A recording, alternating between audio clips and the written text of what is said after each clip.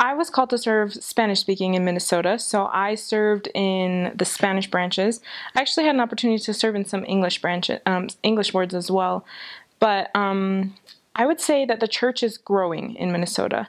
When I was there, I think there were eight stakes, I believe, in the entire state, and um, there. I remember I was at a stake conference maybe where our stake president challenged us to fill the entire church plus the entire like gym in the back. And if we could do that, then he would learn to speak Spanish. And so, and he didn't learn, he didn't know Spanish, but I think it was a great motivator. And um, the missionary work is really growing a lot. And I think one of the big things is that the members are involved with the missionary work. And when you take the members and missionaries and put them together, miracles happen and you need the members.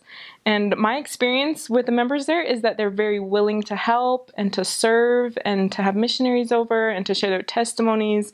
And while, while I was there, we had some pilot programs for the I'm a Mormon campaign.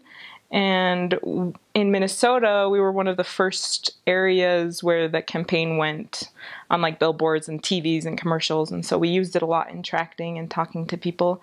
And the members were great. They would make profiles and put them online, and they would have people over, and um, they helped a lot. And so I think there's a lot to look forward to with working with the members in Minnesota and the strength that they have.